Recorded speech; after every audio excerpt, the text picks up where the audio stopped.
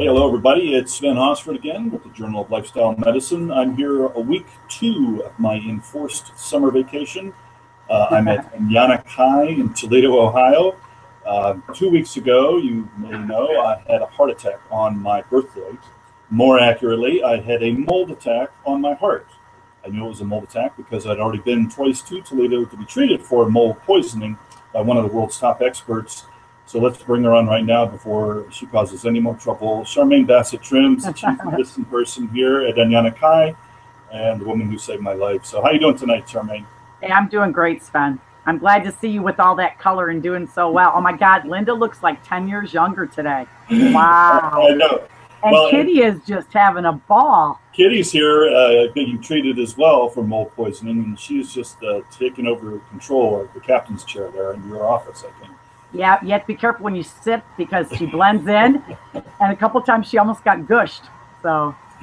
Well, I should tell people, um, you know, two weeks in, uh, 15 days now, with day 15 of the colonic a day, plus all the other treatments, and uh, most of my belly fat is gone.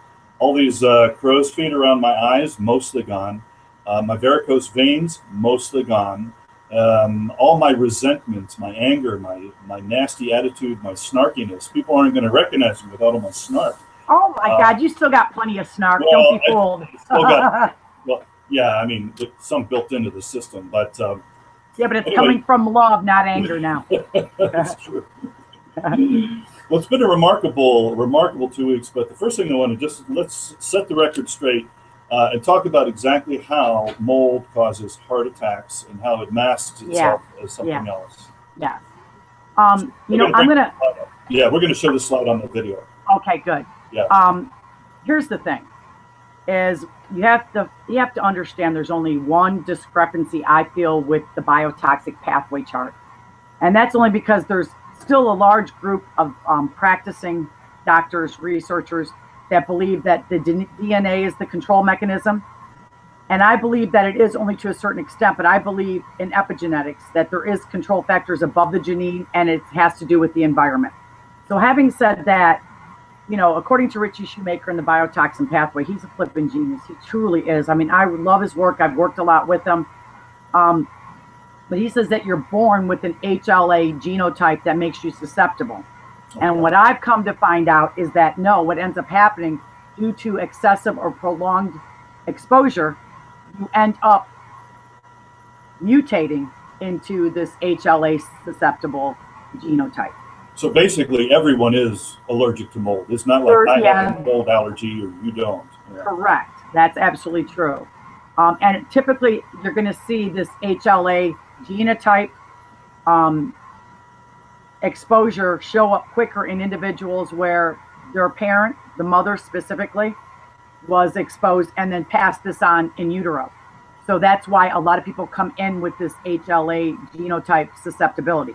Okay. But that's an um, epigenetic factor and not a genetic factor. Correct. You can control whether that gets turned on or not. And it we do see this get turned around, which is the cool part. It's kind of tricky in today's environment, but it, it can be done. So I'm just going to quickly explain that the first thing that happens when you get this biotoxin exposure, and when we say mold, we must always classify this is not mold. This is mycotoxins, exotoxins, VOCs. It's a whole category that we just put into a very convenient mold. Um, but we also have to take a look at Lyme's and all the spirochetes. We have to take a look at um, arachnid bites, like um, for me, it was a brown recluse spider. That's how I got involved with this pathway because it really helped turn around some things I couldn't turn around other ways.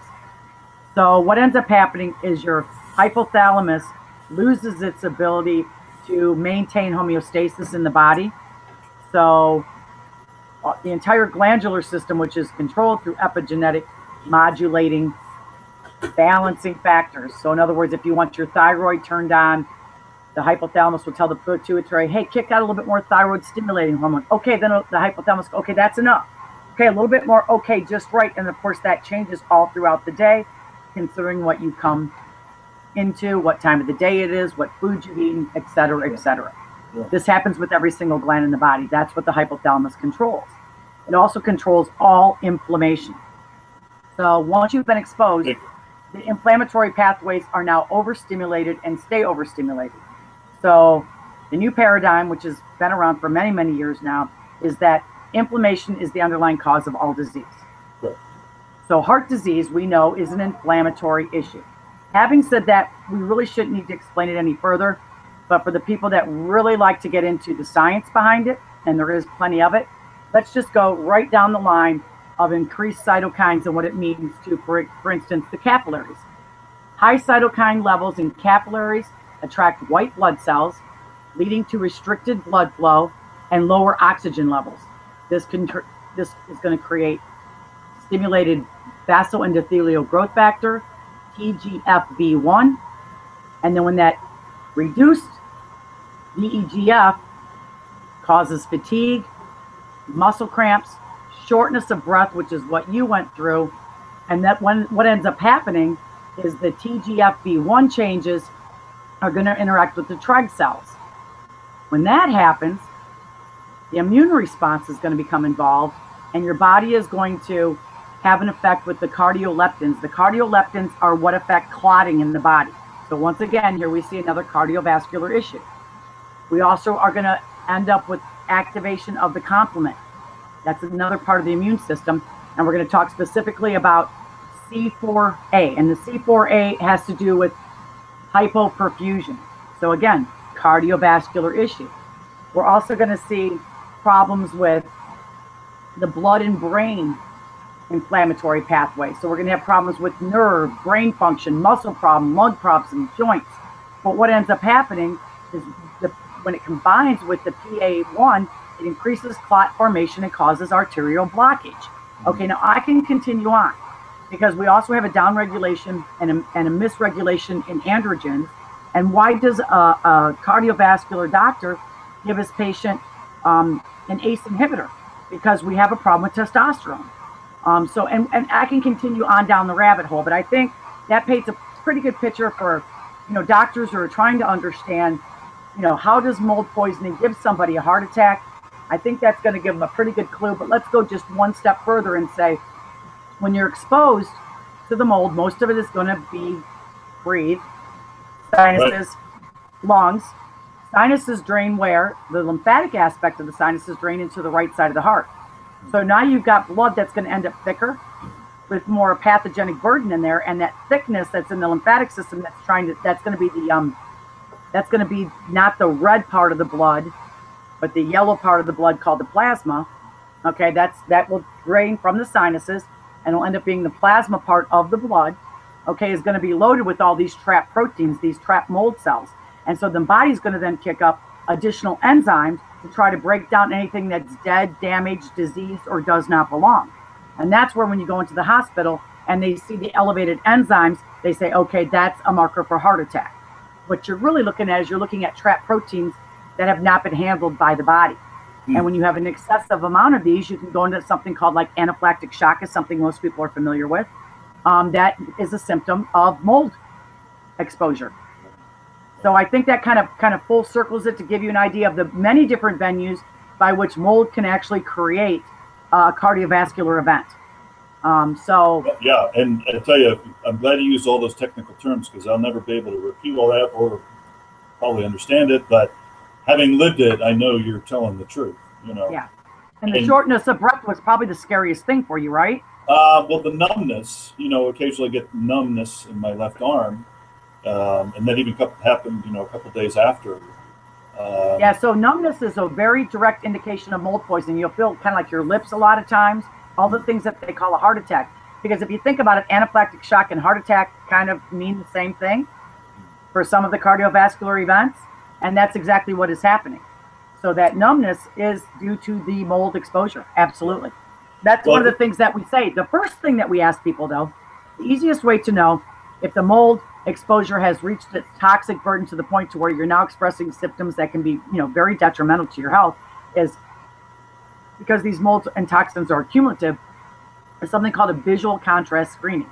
So if you have problems seeing um, the difference between white and black and then the gray in between, you can actually Google visual contrast screening test and you can pull that up and then you can take this very simple test and then if, if you flunk that test, you don't pass it properly, you automatically know that you've had some aspect of this biotoxin pathway activated. some sort of exposure, whether wow. it be Lyme's, an arachnid bite like a, a brown recluse, mold, spirochete, listeria, something along this level. What, give me that uh, visual what? Contrast screening, VCS. Yeah. VCS. All right, we'll get that one up too on the uh, on the video. Um, well, I do need to say too that one of the reasons I put my life in your hands, basically, and turned myself, check myself out of the ER, was because uh, having been to you a couple times before, I was using your fungal pain formula here, FNG, which we affectionately call fungu. Um, I had been using it on my on my uh, varicose veins that I've had since I was 18 years old.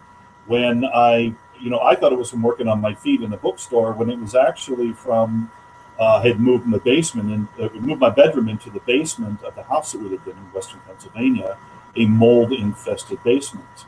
And I was sleeping in that environment for eight hours a day.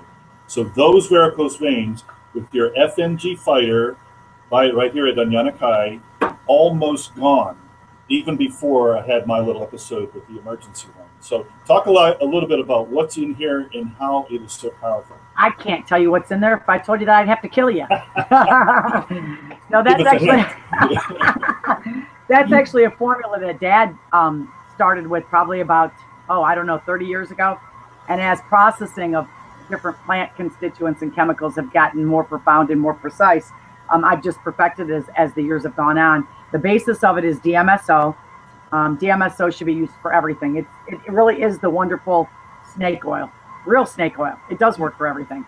And uh, I mean, the, the most astonishing research I ever read was where they took Down syndrome children and gave them DMSO and changed their chromosomes so that they weren't Down syndrome anymore. I figure oh, if it can man. do that, yeah, if it can do that, it can pretty much do about anything, right? Wow.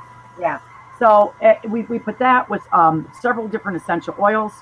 Um, some herbs. The Hoxsey formula, the Hoxsey Cancer formula is in there. Um, it's been improved a little bit again because we've you know just able to do so much more with herbs. Um, there's D-limonene, which is a terpene. It's uh, that's very well and profoundly used uh, for gastro um, gastrointestinal distress, gallbladder, gallstones, lung cancer, esophageal cancer, prostate, any of the female cancers. Um, just works fantastic. It's, so many different ways. Yeah, yeah, so many different ways we use the D-limonene. That's in there. I've got cayenne in there and ginger in there, and get the idea. It's it's basically probably about two seventy-five 75 maybe different items are in there. Wow. Um, and it's just fantastic for everything. Pain, well, I'll give pain, testimony to it. Yeah. But I mean, yeah, I have people yeah. that that have had like migraines their whole life, and you know, again, it's, it's going to be proper use. It's establishing the dose, saturating the receptor sites, but it will actually work as a pain block. It's that powerful. When, again, when used properly, and and the least amount that you should use this particular product is three times a day topically. Oh, uh, it, it could be more depending on what you're going through, what type of environment you're living in, etc. I know I found a lot of relief from putting it right along the eustachian tube and the lymph channels running from uh, across the face down. Yeah, that's your major drainage for your entire head and sinus, right. eyes, the whole nine yards. So, you know, when you see an eye problem, you got to know that, again, the eyes are going to get hit with whatever's in the environment. So, exposure, and it's going to end up in the lac of you know, the glands behind the eye, around the eye. And so, getting that area cleaned up is really, really difficult, and getting it, keeping it drained is really difficult. So, again, any problems with eyes, sinuses, mouth, taste, hearing any of that, we want to open up the drainage channels through the neck. So yeah, that's a really great place to put that on. Okay. Well, let's. Uh, there was one question that came up from last week's podcast. Uh, one of our viewers uh, contacted me to ask, um, how are people in the tropics who live in tropical environments, especially um, natives to those areas, uh, people that live in the jungles and the rainforests, are they affected by mold? Are they as affected by mold? Do they have the same problems we do, or what's the story with all that? Um, here's the thing. So Toledo, Ohio, where I'm at, called Frogtown, and it was a black swamp, which are way worse than the tropics. Okay, black swamp. Um, until they drug drainage ditches around it. Like I've said before, I think your last podcast is um, we have some of the highest levels of aspergillus and penicillium in the world. So that's not the problem problem is, is when we get it trapped indoors and we don't have a proper positive airflow. See, when you're outside, you've got your natural airflow that keeps everything moving and circulating, and then you've got the plants, which are going to give you what you need oxygen wise. So the amount of, and then you have UV rays hitting everything, and UV rays prevent mold from going too excessive. Because think about this: if you're in, like, let's say, a, a tropical area, the areas where you see the mold are going to be where there's not a lot of sunlight, where there's excessive moisture, and where there's very little airflow. That's not going to be where the natives live. Okay, natives are going to live on the, in the areas where there's more light, where there's more airflow, and where there's more plant life and oxygen. So having and more water again, which brings in you know the water as in to drink, not water as in moisture. Um, so the, if you have a positive airflow constantly happening, you're not going to get the excessive spores. Okay, so, so it's, it, it's indoor. It's indoor construction, and and and lack of consideration for positive air pressure and flow that becomes the problem. Well, let's get this right into the topic then uh, at hand, which is uh, remediating your home, getting the mold out of your home, and all the different steps. And I'm on a ball. Like, yeah, I am on that. the ball in case people are wondering. You're on the ball in more ways than yeah. one. I can tell you that. Yeah. Yeah. but um, so the first step in home remediation, uh, or oh my god, I'm going. I'm going through it right now at my mom's house. That's why yeah. you see me. That's why you see me itching and constantly drinking and putting on lip balm is because one of the things that happens is your anti-diuretic hormone, your vasopressin. No matter how much you drink, you're just constantly dry. So that's another, again, blood pressure would be affected. So again, come back to cardiovascular. If you're affecting water levels in the body, you're going to affect blood pressure, aren't you? But I'm just like, I have a hard time. You'll see me itching my eyes, you know, and you'll see me itching my nose a lot. And so, yeah, it, it gets really tricky. But there is a very specific way to, to clean up your indoor environment. And, and when I went shopping for houses, coming back up from Florida, I mean, I looked at 500 houses there's only five I bid on. I said this before. And why I bid on five was not because they were clean, but because I could get them clean and keep them clean. And and really that's what people have to take a look at.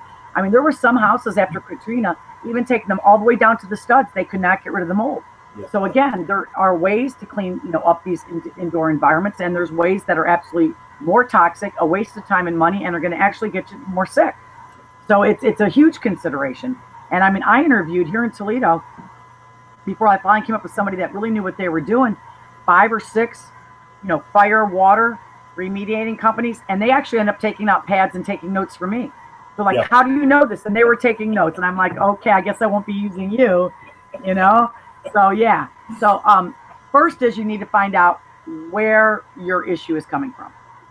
Um, you know, you look along your ceiling, you look you look along like wherever you might have a drain, a sink, a dishwasher, a refrigerator, anywhere where you've got water coming into the house.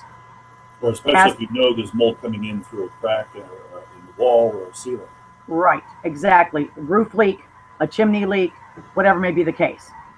But even if you don't have any of those issues, if you have a basement to a first floor, if that's all you have, and of course you may go up even higher than that, a second floor, an attic, whatever. But if you just have a basement to a to a first floor, the amount of degree of temperature and humidity as you walk up those stairs, okay, creates something called a flash point, which creates condensation. So if the outside of your basement is not waterproof properly, and we're talking about French drain, proper grade grade away from the house, down out to the, you know, the street or what you know whatever your surrounding area, so higher ground, so to speak, um, and then where you actually would tar and then Visqueen or use that heavy duty plastic on the outside, you know, you're you're going to have a mold issue. And then even if you do that, you have to make sure that you're controlling the humidity downstairs so that it matches the humidity on the first floor. So hmm. you're not trying to create more humidity, you're trying to dehumidify, if anything. Now, obviously, in the wintertime, that gets a little bit trickier, but you should always in your basement, there needs to be dehumidifiers going, and you need to have some way to vent outside. You have to be able to vent outside some air out, vent some air outside and it needs to be constantly running. It's not something you want to turn off and on. And that's not even getting into, and I think I, I think you know Jim Roby said he'd come on and talk for the more advanced class, which you definitely need to get him on. He was my mentor through all this. Um, but you know, then if you have something like a crawl space or some of the other issues that can be going on, that those get a lot more complicated. And I'm not even going to get into that right now yeah. because we, a we don't have enough time, and b I just need people to understand the basic premise so that they know what to do to clean up that basement, to clean up the house. Because let's say, for instance, your problem was um, a, a, a, bathroom. Let's say a plumbing issue in the bathroom. Know, first and foremost, you're going to take care of the plumbing issue in the bathroom. But if you have a, a central heating and AC unit, you know, if you have central, if you have duct system as opposed to like a radiant system, then you, you need to know that the mold is in your entire house. There's no such thing as it's just in the bathroom. And that's where people make the biggest mistake, you see. They go down to the basement, they see that water issue, they see the mold, they smell the mold, and they think once they clean the basement, they're okay. What they don't realize is because they have a central air system, air handling system, it's throughout the entire house. And that's what gets to be tedious. That's what gets to be overwhelming. And that's where people usually drop the ball, including a lot of the companies that come in to clean because you have to touch every single thing in your house. I mean, I, I we had you freezing books that you loved. Yeah, I'm, we're going to get into that. Yeah. Yeah, I'm, I mean, I'm freezing pictures at my mom's house. Is that that's important to her that she's not going to obviously squirt a liquid onto. Right. Um, you know, so I mean, everything has to be taken care of. So if you want to just do the simplest steps to do that, I go and I get the big. I was trying to see if I could reach one real quick in here, but I can't. But I go and I get the big plastic tubs preferably the see-through so you don't have to do a bunch of labeling. Okay. And you're going to take everything and you're going to put it in this bin and you're going to get it out of the house in a pod. You're going to rent a pod if you can afford it. If you can't afford a pod, you're going to make a clean area. It could be your garage. If it's your garage, you got to first remediate your garage and then that'll be your holding area. If you can't afford a, a bunch of plastic bins to do this, you can get the big construction bags, the garbage bags. Now make sure you don't get the scented ones because that scent is going to get it all in your clothes. And now you got chemicals and mold. It's a double whammy. It's a bigger problem. Okay. So, and, and most of them don't even say it on the label anymore. The big construction bags. So the easiest way to clean your place, and this is in a way it's kind of cool because what most people are going to realize, all the possessions that they have are actually weighing them down. Yeah. And, and they probably should get rid of like 90% of what's there anyway and if they don't see it out of sight, out of mind, but it's really not because it still weighs heavy on you, it's still possession that's taking up space that could be used for something else in your life. So it's a great opportunity to clean up your house. So what you first do is you get your clean area, whether it be a pod outside, which is what I have, or a garage, which I've done that before too. And then everything has to come out of your house. So as you're taking it out of the house in this construction bag or in this plastic bin, you're deciding one of three things. I'm going to keep it. I'm going to give it away I'm going to throw it away. You have to decide one of those three things, and then it goes into the spot accordingly. All right. So you've got everything tied up, everything's out of the house. In the basement, we're going to use a high powered 35% hydrogen peroxide that actually contains products so that you can get a deeper penetration of the product. Regular hydrogen peroxide will not do this. So now every beam in the ceiling, every yeah. stud, every cinder block is going to be super. I'm talking about you're going to get a heavy duty shooter duty um, fogger. I actually have a fogger that I that I own because I help so many people with this. Excuse me, kombucha, kombucha, baby. uh, but um, you can actually rent them from like Home Depot, and it's this fog. That, it'll kick out a lot of spray, so you get a nice coverage, and you're just going to blast everything super super saturated I mean, you want it wet. Okay, you want it totally, totally wet. And now, then you're, you're gonna.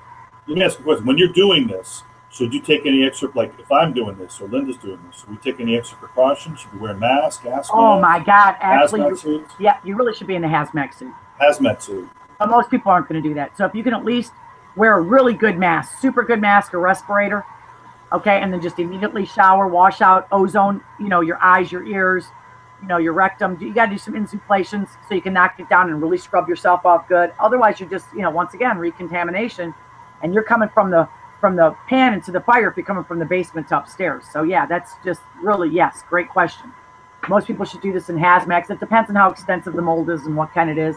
Uh, but yeah, better safe than sorry with something like that, especially if you're already sick. You know. Well, yeah, but especially like we're we're moving into a house. We've got a great landlord. God bless her. She's a wonderful lady.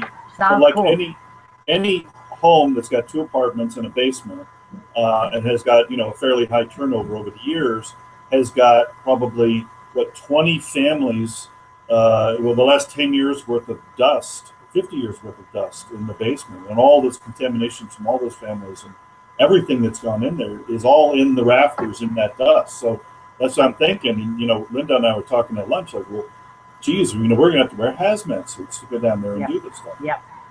Hey, and they have the really nice ones now that are kind of like lightweight. They're not expensive and they're kind of throwaway type of things. Yeah, yeah. I was gonna And say they work out. They work out really well. They do. And that's what we tend to use. Like when I grow in crawl spaces, I put on a hazmat suit. I'm not growing in anybody's crawl space without that on. That's lo- if you do that, you're an idiot. I'm sorry. I don't like to call people names, but you can't do that. You just can't Well, do that. especially people like us who've already hit our toxic limit once. You know. Right. and- and Yeah, but why, why, why challenge that? It's just because once you Well, I get there, it's just so tough. Yeah, you so t- Yeah, it's so tough. So the whole let's talk thing is, about.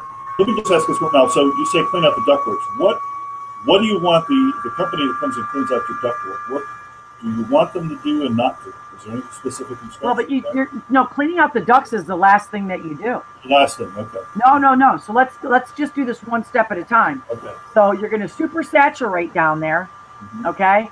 And you're going to put a you're going to put some fans down there. So so it dries up and then when everything's dried up, you got to get a super high powered hospital grade HEPA vacuum cleaner and you're going to HEPA vac everything because here's the thing. When you say there's a lot of dust, that that dust is loaded with mold. So anytime you see dust anywhere, anywhere, you know that that's a mold trap. All right, and it's also a dead particle trap, which is every bit as deadly. Here's the thing: is a lot of people know how to kill mold, but once they kill that mold, now you've got all those dead particles. That stuff is every bit as toxic as the mold is. Okay. Well, and that's that's the, the second part. I know this is a two part land. You got to kill the Right, mold, so- you got to remove it without toxin. Right. So you're going to go ahead and you're going to HEPA vac all that, and then you're going to take a product and called Biostat, and you're going to you're going to take that fogger and you're going to saturate everything again. Now, guess what? Once that's on there, it's not going to get mold again for a year. How about that? And I put that I put that to extreme water water out under my hot tubs. I go under there every six months to year in Biostat. You know that's all wood down there that has been flooded so many times because we have a drainage problem underneath the building here, and that's never had mold down there. So that's that that proves to me everything I need to know. Stuff's crazy. So now Let's go. Well, so let's get the product Biostat. Biostat, yes, Biostat. Jim Roby's going to talk a little bit more about that, but we do carry that. That is Sure. available for people. Yes. So now let's go upstairs. Okay, and wait, wait, wait. Let's finish downstairs. So now you've biostated everything. You're good. You got your dehumidifier set up. You got your sump pump covered. Okay, you got the you got it so that the dehumidifier drains into the sump, and you got a rubber cover, not a wooden cover, because you can imagine that's going to be a problem too. You get one of those rubber covers and you custom make it so you got that sump pump covered. Okay. Then you got to make sure that you're you've done waterproof around your basement, like we talked about, with the French drain, the tar, the tarp around, and that you're well graded all the way out far enough that you've got good drainage for your house and your basement. You're you're in okay shape there. Now your basement's okay, which is typically the biggest problem in most in most living areas. Okay, preferably a slab. Basements are just a really bad idea if somebody's building. You really don't really want to build a basement. You just don't want to do it. Just too hard. Just because of the fact of being underground and that that's going to create a you know a flashpoint and that even if you know what you're doing, it's still hard to really get that right unless you hermetically seal your whole house. You know what I'm saying? Come on, and that's just going to be a, a fortune unto itself. So now let's go up to like living areas. So now like living space, you don't need to use the hydrogen peroxide, and you're probably not going to want to because think about it. That's going to bleach things. It can, it's very caustic. It can do some damage to some things. So what you're going to get is you're going to do the same thing you did downstairs in the basement, but you're going to use a product called Sterichelli. Sterichelli. Now spell that one out. Ha, Uh, really? Yeah, S T E R I C H E L L I. Hey, I think I did it. I think. Sterichelli. I think I did. And that's another product that we carry that Jim's going to talk a little bit more about. Um, but that's what you're going to use. Now, every single thing from the floor, I mean, from the ceiling to the floor, all walls, everything has got to be sprayed. It has to sit on for half an hour, needs to be wiped off. Then everything has to be HEPA vacked again. Carpets usually have to go, but there are carpet steamers that you can get and you can take that high heat and run the Sterichelli through that and save carpets as long as they're not too old because think the padding and all that stuff underneath there. So if, if, they're too old, old, you're best just take it, and just get rid of that carpet. So when you wipe down the walls after you put the Sterichelli on, any special precautions there? Same thing. You're you know it's not going to be as bad as the basement unless that's where the problem's at. Because my mom's house, our problem is, was the, was the roof and the chimney, so it's in it was in that area. So if I'm opening up an area that we found black mold in, heck yeah, I'm doing full precautionary there. But for most people, it, it's going to be the basement. Nine times out of nine, it's going to be basement. So when you get up there, usually a mask will, will do the job and just a good shower afterwards. But then after you wipe everything down, you're going to have to once again HEPA vac everything, ceilings, uh, walls, floors, everything, all your furniture, everything's out of the house. Every pitcher, every utensil, everything's out of the house. And then once again, you biostat everything. Your house is now done. And then what you're going to do is to not overwhelm yourself, because otherwise it's overwhelming. It'll never get done. You bring those plastic, either trash bags bins in one at a time, and you remediate each one of those one at a time. Some things cannot be remediated. Some furniture cannot be remediated. Some mattresses cannot be remediated. Pillows, questionable.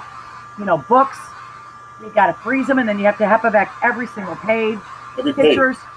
Pictures, same thing, front and back. Everything has to be touched.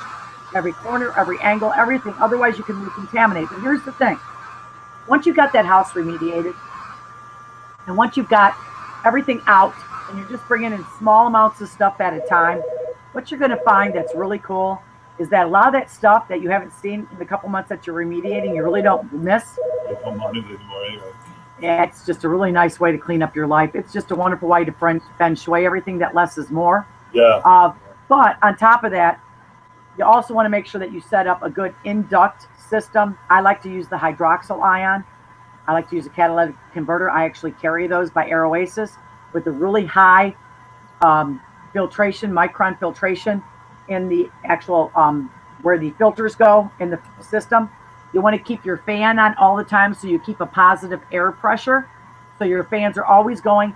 Ceiling fans in your big rooms that push the heat down in the summertime and lift the heat up in the wintertime that have a reverse on them. Uh, bedrooms, probably, I would even do a, a standalone filter in bedrooms and main living space just to make sure I'm really handling my air quality so that you never end up with this problem again. Um, and then your ducts need to be cleaned completely and the air in the house. Okay. Because if you just clean the ducts without cleaning the air, that's crazy. Sean says that's like a, you know, taking your dipstick out of your car, wiping the oil off, and then sticking it back into the dirty oil. So you're not just cleaning, and that's the thing is most companies just clean ducts. They don't clean the ducts and pressurize and clean all the air. You have to have both.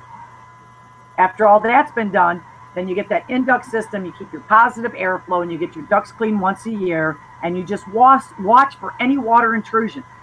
Any water intrusion, if you clean it up within 24 hours, you're going to be fine. And yeah, you got the products. You got your hydrogen peroxide, you've got your Sterichelli, you have your HEPA and you have your Biostat. You're going to know how to keep your place mold free. And it's not cleaning it up; it's keeping it clean. Yeah, yeah, see that. And so those those are the basic steps there. So let me ask a couple of specific questions then. Um, spider plants. I have a whole bunch of plants that were inside during the winter and now are outside on the front porch. Uh, Got to go or no? No, you want your plants. Your plants are going to absolutely help. But is there mold what, inside the dirt? What you're going to do is you're going to you're going to go get some enzymes, some plant okay. enzymes, and because you got to remember plants feed off of mold. So in the plants is not so bad and then they take that and they'll eat that, and the enzymes will help break it down faster. Okay. okay, and even some water with some hydrogen peroxide in it works really well too. Okay. And you can even mist the leaves and wipe them off, or just spray them off with the hose. You can mist the leaves and then just spray them off with the hose. Let them sit outside in the sunlight. You'll be fine. Oh, I'm so glad. So you want glad. a lot of you want a lot of plants in your house. Plants are wonderful for keeping the air clean. That's well. I kept them in during the all winter, and I was afraid that um, they were going to be too toxic to bring back in next winter. No, no, no. You want those plants. You can remediate those too. Everything has to be touched. That's great. Well, we've covered a whole bunch of one important thing, and this is a part of our uh, amazing journey here. Um, after we left the uh, ER and took us about a day to get ready to travel the four hours to Toledo, it actually took us 24 hours to make that four hour drive. I know it. That was so because, crazy. And we, I know we were calling you like every hour. Oh my God, Sven! I swear to God, that was so crazy. I mean, they really were because yeah, he, no, he was ha- felt like he was having a heart attack like every four hours. Should I go to the ER? When do I make a decision whether I'm going to the ER or not? Was the question. I was Don't you just love it when somebody way. puts their heart attack in your hands like that? luckily I'm as confident as I am that I knew what I was doing because any other doctor would have never taken that liability. I'm the crazy nut lunatic out here though, so I don't know. I just felt pretty confident. I just felt pretty confident I knew what was going on. Well, so. you you had actually done some very specific testing with your microcurrent machines. You knew what the, the mold level was in my system. You knew my my history. Um, since I've been here, I've realized that every single health issue I've had in my entire life has been because of mold. Isn't that something? I know it. I know it. It just crazy. blows me away. I know it. And, and just to, to round out this podcast, because I think we need to do a, a whole podcast on. Yeah, we're gonna let's do that. I really want to do that so people have the info they need. But just yeah. just to round it out, I mean, uh, it, literally every single thing, and and I love what you say too, is that the toxic the toxins come before the negative emotions, which oh know, oh yeah yeah yeah yeah oh yeah. Thanks for bringing that up because you know it, it, it's crazy when someone says oh you know you're having a heart attack. Well, you need to fix your heart. I'm like OMG.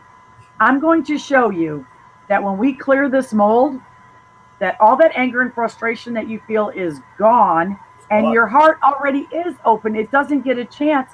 We already know it that you know it's been proven that those HLA receptors work as antennas to pull your soul into your body.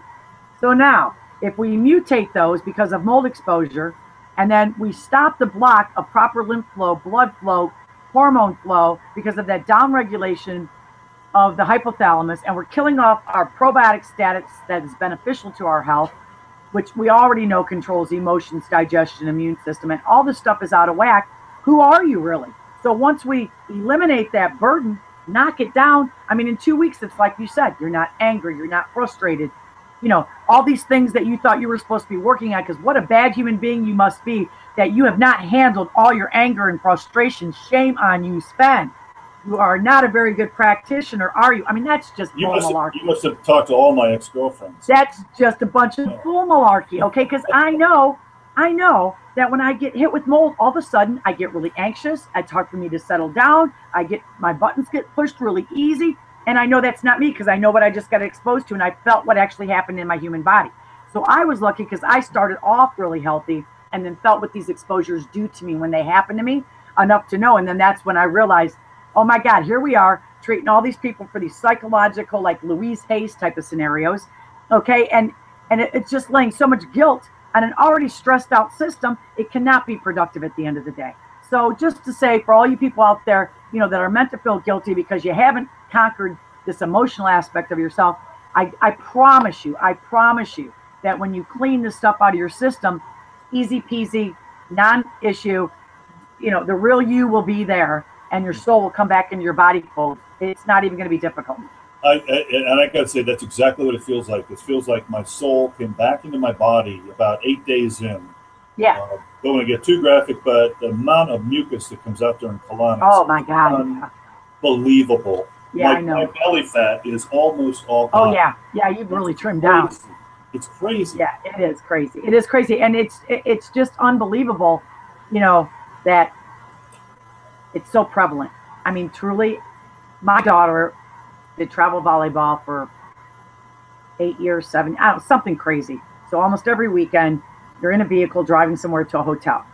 It got to the point where I just kept a bed, I just kept all the seats down in the van, and I just slept in the back of the van because I wouldn't even go into most of the hotels. I just couldn't well, do it. That was uh, another part of the adventure here was three hotel rooms and three nights, and the third right. one almost killed me. So that's why we live here in the clinic with sleeping on the massage tables it's kind of an interesting experience, I have to say. But uh, it's uh, I have such. A, ah, come on, you're having fun and you know it. Well, I it's it's the most interesting summer camp I've ever been to. I, I know, right? I get well, all the things they put up my rectum. It's just amazing. It, uh, seems, Mr. Sphincter is not real happy right now, but uh, in general, I feel oh, so he's loving life. What are you talking about? The other alternative was way worse. well, I think if uh, it's a way better alternative than having my chest cracked open or tubes put, more tubes put in my arteries because they couldn't right. diagnose it in the first place. But uh, it's such a it's such a joy to have you on again. We're going to do this a few more times to cover all the basics of mold.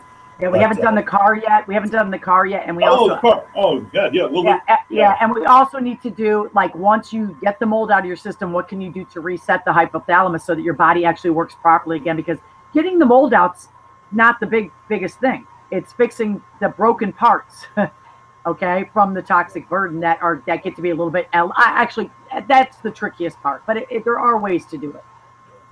Well, let's save that for a future podcast. Um, this is uh, another exciting week here. I'll probably be reporting from here next week. Um, we're also going to have Dr. Michael Greger on next week. Uh, that's going to be really fun. He's going to be in Pittsburgh coming up in early July, so we'll get the details out about that. But uh, for now, let's uh, wrap this one up. Thanks again, Charmaine. It's great to have you on again. And, Thank you. Uh, until next week, you be careful out there.